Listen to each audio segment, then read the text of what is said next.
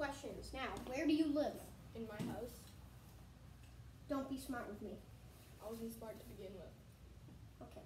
Just answer the questions. Where do you live? In my house.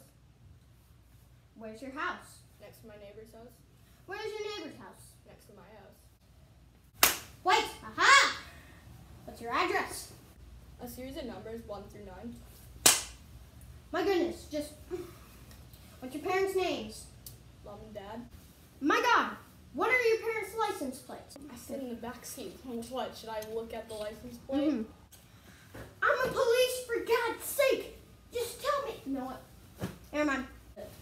That's it. Jerry, come in. Ask this kid a few questions.